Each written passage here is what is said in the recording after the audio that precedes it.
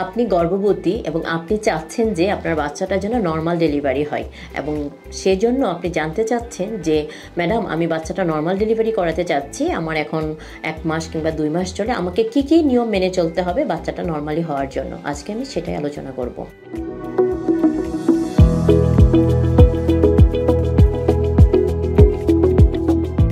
আসসালামু আলাইকুম, আমি ডক্টর রীতা তাহে। আমি গাইনি প্রসূতি এবং বন্ধাত্ম মায়েদের বিভিন্ন সমস্যা এবং আল্ট্রাসোনোগ্রাফি নিয়ে কাজ করছি কোনাবাড়ি ল্যাবেট হাসপাতাল এবং আরিবা ডিজিটাল ডায়াগনস্টিক সেন্টারে। তো নর্মাল ডেলিভারি আসলে নর্মাল প্রক্রিয়া এর জন্য অত বেশি কোনো প্রিপারেশনের প্রয়োজন নাই বাট আপনাকে একটু সতর্ক থাকতে হবে।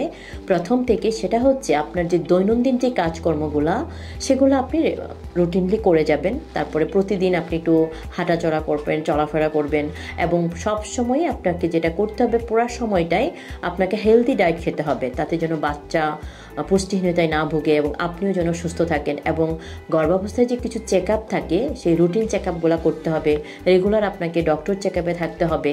সর্বোপরি যদি দেখা যায় যে বাচ্চার ওয়েট ঠিক আছে, আপনার পানির পরিমাণ ঠিক আছে, তারপরে হচ্ছে জরার মুখে কোনো সমস্যা নাই, জরায়ুতে কোনো সমস্যা নাই, এবং হচ্ছে আপনি রেগুলার এক্সারসাইজ করেছেন মানে সব ওকে আছে দেন আপনার যখন থার্টি সিক্স উইক্স বা থার্টি এইট উইক্সে আপনাকে এটা আল্ট্রাসোনোগ্রাফি করে বলে দেওয়া হবে, না পজিশন ভালো আছে সব কিছু ঠিক আছে, তাহলে আপনি নর্মাল ডেলিভারি করতে পারবেন।